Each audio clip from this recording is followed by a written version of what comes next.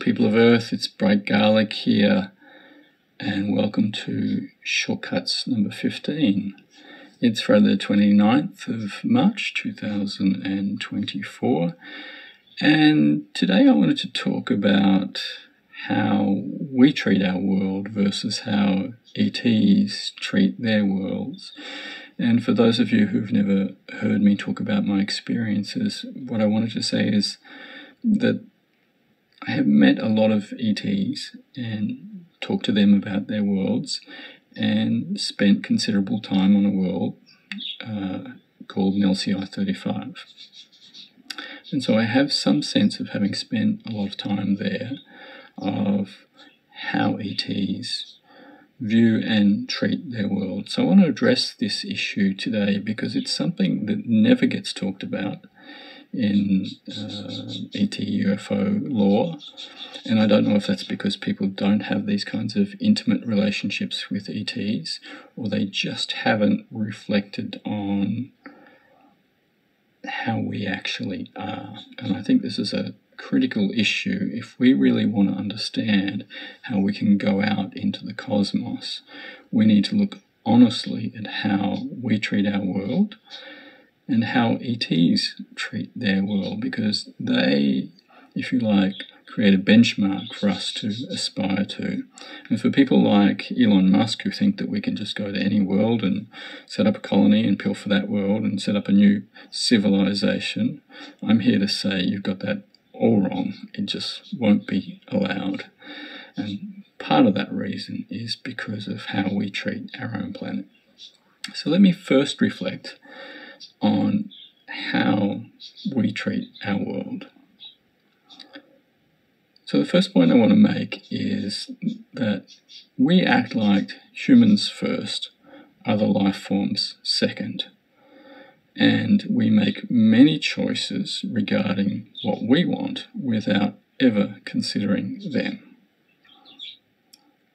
Second point I want to make is we destroy land and ecosystems, rivers and oceans for human progress. Once again, without any consideration of any other life forms. We pollute our world with sound, light, smell, odors. Air, ocean, water, and land is polluted with light, sound, noxious, dangerous chemicals, solid, liquid, gas materials on every scale every scale. And we pollute with radioactive materials. The next point I'd like to make is that we disrupt the natural flow of energy on the Earth. And if you think about this very carefully, you'll see that we do it with our roads, with electricity and electricity infrastructure and Wi Fi and Wi Fi infrastructure, we do it by destroying ecosystems and killing vegetation and with the creation of pollution. So I urge you to reflect very carefully on how we humans disrupt the natural flow of energy on Earth and the implications of that for other life forms. We also overpopulate our world with our own species, totally ignorant of the flow on effects that so many human beings have on ecosystems and other life forms and energy and the overall health of our planet. We view other things on Earth as resources and commodities, not as things with intrinsic value in themselves. And one thing we do incredibly well is we lay claim to everything. We create nations, we separate them with borders, we hunt and harvest any plant or animal that we so desire. Every ecosystem, every landscape, everything that we see is a resource in the air, in the sea, above the ground, below the ground. We also turn every place over to tourism as if it's okay for anyone from anywhere to go anywhere. And we create land ownership and separate and defend it with fences and in some places weapons. So, this innate desire to lay claim to everything has been with humanity for a very long time. We travel all over Earth where possible and leave few places just for the natural world. And that has a very dramatic impact on the natural world. And we see our world as a discrete, separate entity from our existence. Not that we are one with it, and without it we have no existence. Oh, and a simple point that I overlooked before we have agriculture and allow Earth to be decimated by agriculture everywhere. And we use destructive methods to maximize productivity, polluting the earth, destroying ecosystems and other life forms. The primary focus of agriculture is to create food for us, but we do that at the expense of everything else. So that is essentially how we treat our world. Now, I've not said anything about some of the positive aspects, and I'll quickly touch on those. We do create sanctuaries, we create parks, be they uh, forest parks or desert parks or marine parks. We do have places where we're not allowed to go in and cause rampant destruction. But at the same time, we're still going into those places. There are very few places on earth that animal and plant only, human free, and there ought to be. There are also many people who do care about our world, many people who are working in preservation and conservation, in repairing the damage that's been done, in trying to save species on the brink of destruction and extinction.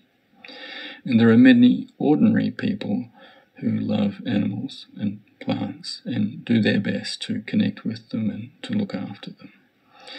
But for the most part, we treat our world terribly, and that is reflected out into space for others to see.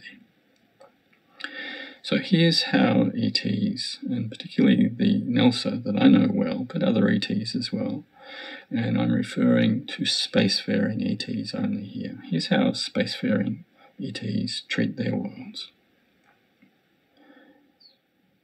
They see each of their worlds as a world for countless life forms to coexist, and they respect their existence by making choices that cause as little harm as possible. We are human centric, they are planet centric.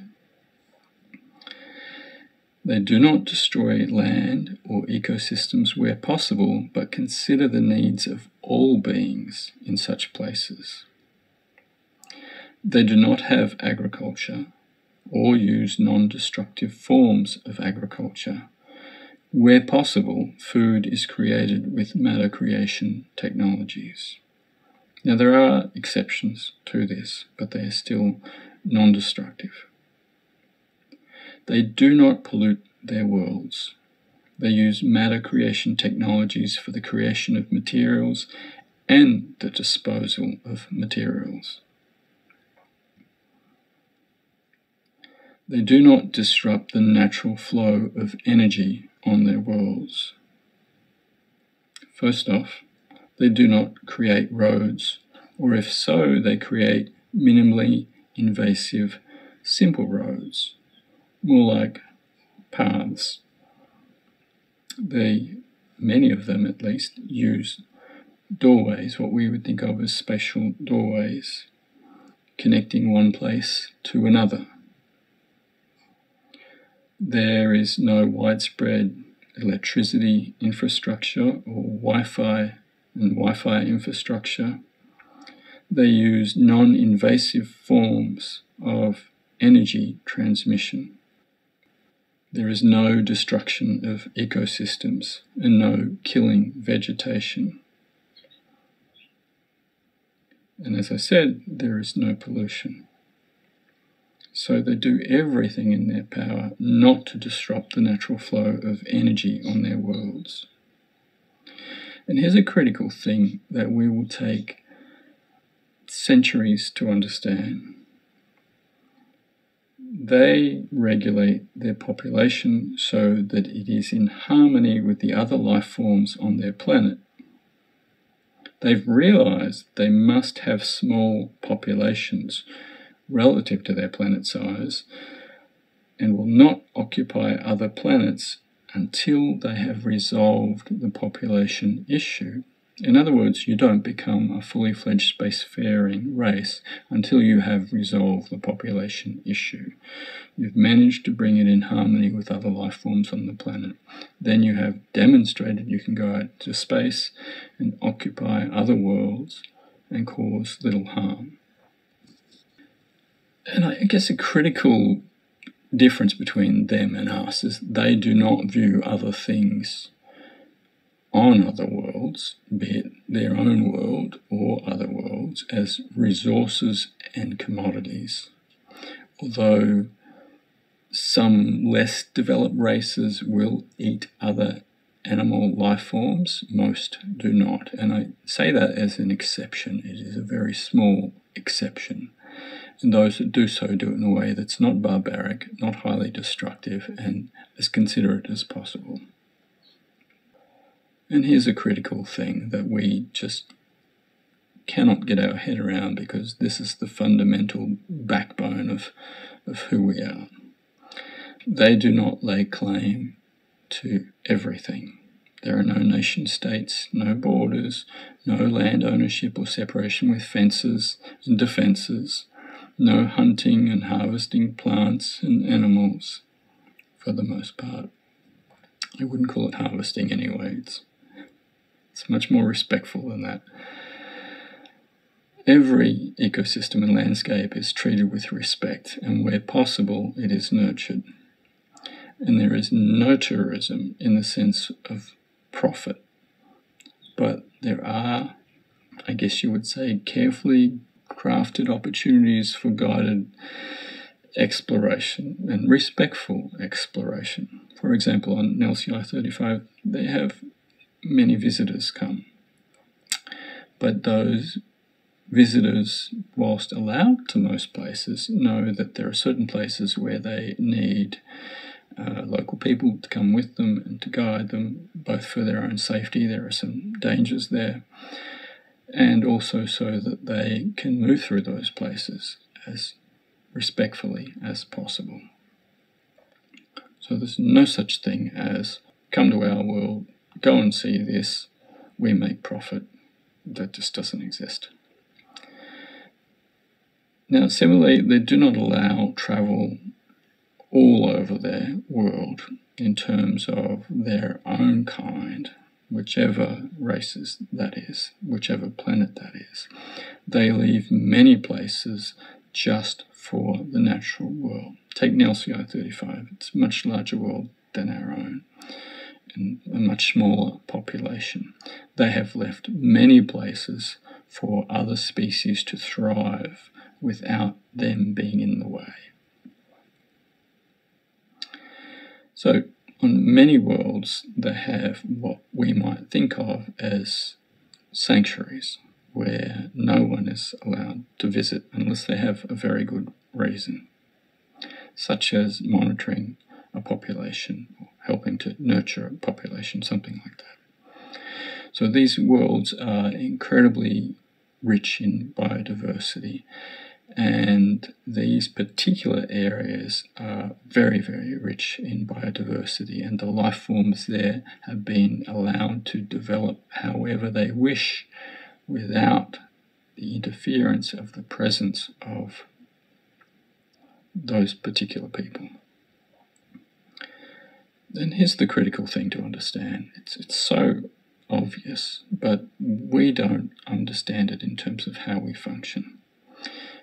ETs see their entire world as one entity, but also as countless entities. So that duality.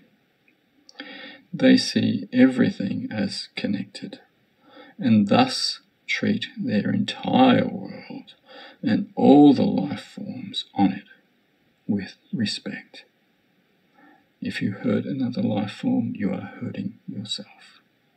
So everything is respected. A little example tie into this last one. When I visit LCI 35 and I spend time with my family there, the dude's family there, they live in in you'd say sort of generally speaking a U-shaped clearing between forest with a small hill in front. And there are many creatures that come out of the forest and move around their homes. They make no effort to send those creatures away. They make no effort to cause any harm to the forest. Their ancestors from billions of years ago destroyed the forest. They do not. So they recognize, that's just a small example, they recognize that they are connected to everything. It is them, they are it. Their entire world is one.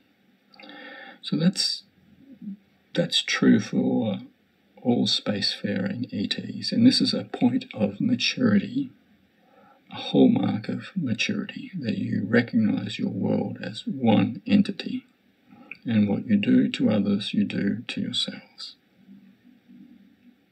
So, anyway, that's just uh, my take on the differences between how we treat our world and how ETs treat their world. hopefully, from that, you can see how far we have to go to really become a spacefaring species.